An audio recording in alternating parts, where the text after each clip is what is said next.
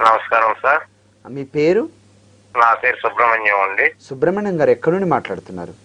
గుంటూరు అండి. గుంటూరు నుండి మాట్లాడుతున్నారు. ఓకే సుబ్రహ్మణ్యం గారు ఎవరి గురించి తెలుసుకుందాం అనుకుంటున్నారు?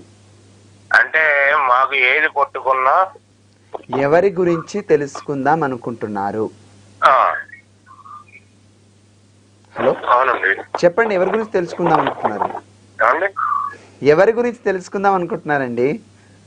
గురించే సార్. ఓకే మీ గురించే తెలుసుకుందాం అనుకుంటున్నారు మీ డేట్ ఆఫ్ బర్త్ చెప్పండి. నాది వచ్చేసి రెండో నెల రెండో తారీఖు అండి. రెండో నెల రెండో తారీఖు?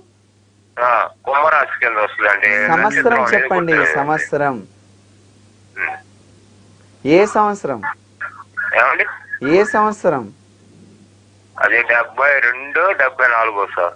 కుదరదండి అలా అయితే కుదరదు. డెబ్బై రెండో డెబ్బై అలా కాదండి. కట్టుగా అంటే మీకు తెలిసి ఉంటే మీ డేట్ ఆఫ్ బర్త్ వివరించండి దయచేసి.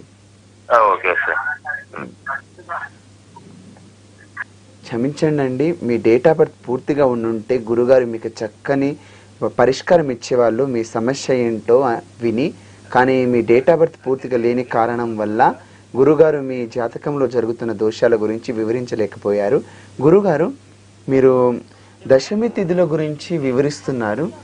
అంటే దశమి అంటే మనం ఏకాదశి ఉపవాసం ఉండాలి అంటే ఆ ఫలితం దక్కాలంటే దశమి రోజు పూర్తిగా ముంపుట్లా తినకూడదు.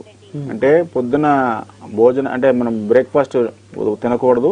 మధ్యాహ్నం యథావిధిగా భోజనం రాత్రి ఏదైనా అల్పాహారం చేసి ఏకాదశి రోజున పూర్తిగా ఉపవాసం ఉండడం వల్ల ఆ ఫలితం దక్కుతుంది. తర్వాత ద్వాదశి. ద్వాదశి తిథి అనగా శ్రీ మహావిష్ణువుకి ప్రీతికరమైన తిథి.